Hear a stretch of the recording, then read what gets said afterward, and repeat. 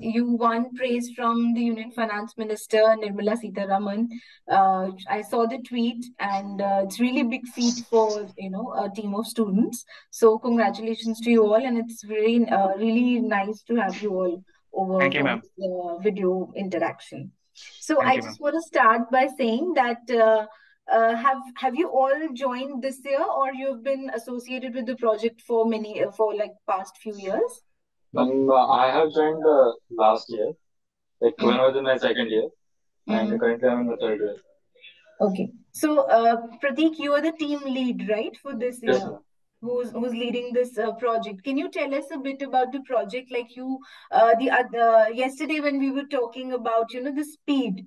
Can you tell us about, uh, like you told me that an airplane, um, uh, an airplane can run an average speed of around 800 to 900 kilometers, and this loop which you're creating, you know, will be double, almost double the speed. So can you Yeah. tell what is what is uh, this exactly, this Hyperloop meant to be, you know? How is it uh, going to function? So basically, the current transportation system that we have, they are not able to run at higher speed due to the friction. Uh, Mm-hmm. for the, for example, the transportation systems such as uh, train and bus, those are running on the ground. They have like uh, friction on the wheel and uh, air drag. And similarly, for the air transport also, Mm-hmm. like aeroplane, they also have like air drag when they like uh, runs at very high speed.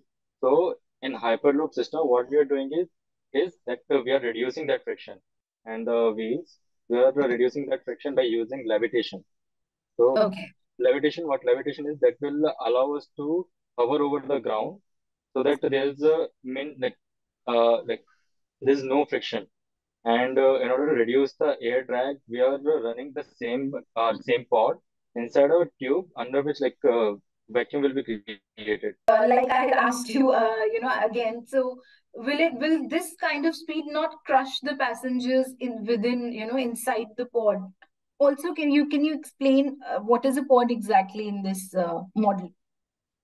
Uh, so like to at, uh, in order to reach uh, the speed of 1600 kilometer, we will not like, like we will not be just accelerating directly to the high like at higher acceleration. So Mm, there is a something uh, some minimal amount of uh, G forces that a human body can understand uh, withstand. right. So uh, if we take example of uh, fighter jet planes, like the pilots, those are piloting the fighter jet, they un- withstand like around 5 Gs to 8 Gs, but no, a normal human being cannot like withstand that kind of uh, gravitational forces. So what uh, in Hyperloop, what our plan is that uh, initially we will start with uh, 0.9 to 0.1 G of acceleration so that it is uh, like it will be like comfortable for uh, human bodies. Then Mm-hmm. as the speed increases, as the speed is- increases, we will like uh, like increase the acceleration uh, gradually so that normal human body cannot like feel that kind of acceleration. And uh, simultaneously, simultaneously, we will be able to reach to the speed of 1200 to kilometer, uh, 1200 to 1600 kilometer per hour. Mm-hmm. Mm-hmm. So has this kind of a uh, you know this kind of speed or this kind of travel system been experimented anywhere else in the world so far? Just like uh, there are like uh, certain some companies which are working on the developing Hyperloop, uh, such as like uh, QM Hyperloop and a few other like Hardt Hyperloop, but they are also in the developing phase. So they haven't like tested the and like tested to the full potential, like the full speed. Like uh, everywhere, everywhere in the world, uh, the development of this technology is going on. Mm-hmm. So, and everybody, you know, wants to know this question that from Chennai to Bengaluru in 30 minutes can, you know, covering a distance of 350 kilometers or approximately, can it actually happen? And if it can, then by when can we see this, uh, you know, turning into a reality, if at all? Can you tell us about that? So like uh, uh, if you see the calculation, if you are running at a speed of 1200 kilometer per hour, then it is like uh, and uh, we have to cover 365. So if we re- like deduct the time of acceleration deceleration, it is possible to cover 350 to 365 kilometers in a 30, in 30, min- uh, 30 minutes. So yeah, it, it is possible. And uh, coming to your question, till when we can uh, see this? So all, all over the world, people are working on developing the technology and the pace at which the technology has been developed in this area Mhm. I can say like uh, mostly like in 10 to 15 years, we can like be able to see these kind of transportation, this high speed transportation, like uh, and yeah, like within 10 to 15 years, it can be a reality. Mhm, mm. It can be. So you mean it can be commercialized by then? It can. yes. Uh, oh, that's that's great. So how did this idea of connecting uh, Chennai and Bengaluru came up in the first place? Uh, like you know, not why not any other? Uh, how did this come up? Like uh, IIT Madras is uh, in uh, Chennai, Right, and uh, uh, lots of people travel from Chennai to Bangalore Mm-hmm. because Chennai, uh, Chennai being the like uh, uh, mm, it's a like uh, transport hub, like where the uh, part machinery has been developed, and Mm-hmm. there is a port in Chennai also. So Mm-hmm. and uh, uh, Bangalore is the technical hub. So the transportation of goods from Chennai to Bangalore is uh, like happening daily on a on a daily basis. So if you're connecting Chennai to Bangalore, then this kind of good uh, this uh, transport of the goods can be happen using Hyperloop, which will direct the time of uh, um, direct the time that uh, goods take to travel from uh, Chennai to Bangalore. So that's Oh, the so like it's like basic a idea major intercity travel kind of Yes, a, a corridor. Yes, ma'am. Oh, okay. So that that's why this was picked as the as the as the basic, you Yeah. know, the scheme. Okay, I see, I see. So I see Tam Tamanna Siraj also. He's a he's a, a part of the team. Yes, ma'am. He's our uh, business head. He's your business head. Okay. So uh, can you tell us about the business aspect of the project and how it is being worked out? Okay, so I'm a third year BTech undergraduate from the Materials Engineering Department here at IIT Madras. So, as Pratik said, I handle the overall business of this team. So, coming to how we handle, so basically, business has a lot of things to do other than only uh, we take we Mhm. care about the money, we care about all the finances. We also work on branding Avishkar and also like Oh. also overall outreach, all aspects of whatever Mhm. comes into business, we handle that. Mhm. So it's quite a brand already, right? You uh, can you uh, yeah could you could you tell me about the uh, about that uh, competition that was uh, you know held in this July, right? In Yes, uh, in Scotland. Yes, ma'am. So, um, like when you uh, IIT Madras came up uh, among the th three global uh, uh, winners, right? Yes, So, ma'am. you know how how it has to be branded and you know getting uh, funding and all from other in private institutions as well. So, how do you uh, like how do you communicate with the companies and what kind of time and uh, you know effort does it take? So, for example, this European Hyperloop Week, we uh, we had gone to Scotland where over uh, where students from over 30 international institutions have come and participated. So Mhm. we had talked to them, we discussed with them, we discussed with all of them. We like gained a lot of insight, like Mhm. how they are doing their things, how they are uh, approaching their companies, approaching industries, how the institute of theirs is helping them. So Mhm. we kind of, how do I say it?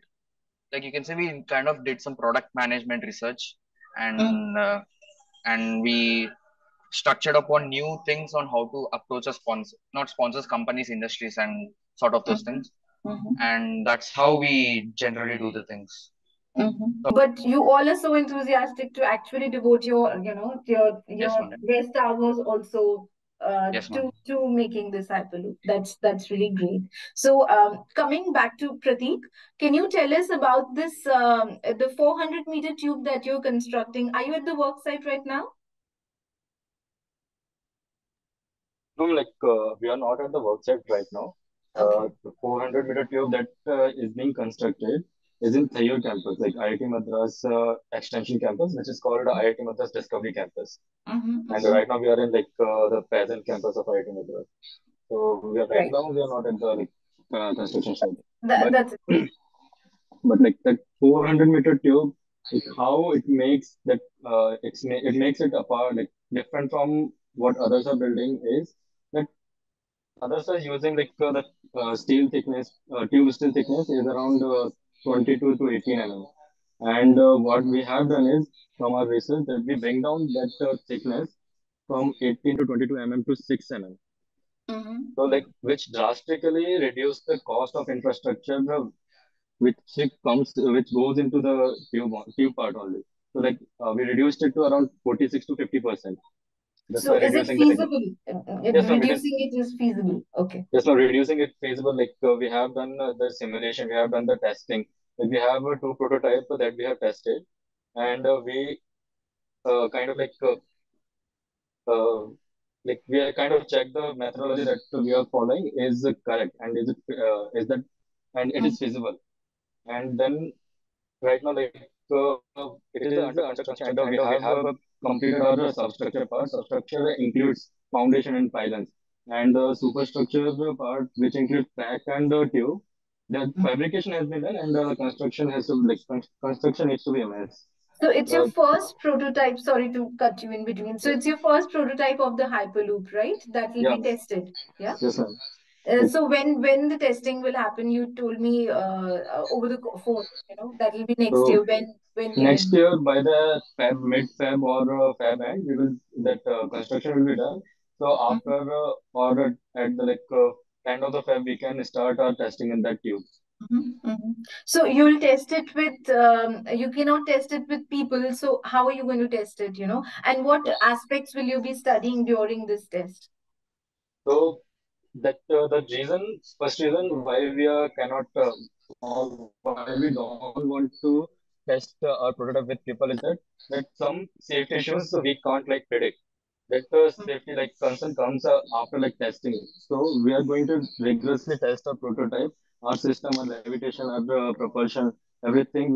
We are going to test it rigorously and find out like uh, what are mishaps can uh, uh, mishaps can be there during our power run, and we'll try to eliminate those when we scale it up to the passenger levels. So that's how like we are planning to use 400 meter tube. So basic idea of use, uh, this 400 meter uh, tube test setup is just to like to take the safety aspect of uh, our mhm, system. And uh, then we are also going to use it to transport, like uh, check the feasibility, whether we can transport goods from point A to point B, and mhm, uh, what all things need to be considered uh, during, like, in order to do that. mhm. So, so what kind of goods can these be? Because I saw the uh, I saw the video which shows the prototype. It's really small. So yes, will ma'am. it that small or how or will it be big? I don't know. Uh, now we could have, we can have uh, increase the length, and uh, in trans transporting goods, we can transport some of our tools, some of like mechanical parts from point A to point B. Mhm, mhm. This Oh. uh, and like uh, from let's say like uh, if you want to uh, like uh, transport some uh, PCB, like uh, which uh, like which uh, man, which which is manufactured in basically in uh, Bangalore and all. So Mhm, we can test uh, those kind of goods uh, in under the vacuum and uh, we'll check whether like what kind of uh, impact they have when we like uh, when we run them uh, under like such a high speed. mhm. Oh, okay. Okay. So this is this is your first big move on the Hyperloop project, right? Which is ma'am. which you're going to make next year. Yeah. And like Okay. this 400 meter tube is the only like test facility for Hyperloop in all India. Oh, across the country. Oh, Across that's the country, that's the only first mm-hmm, Hyperloop testing facility.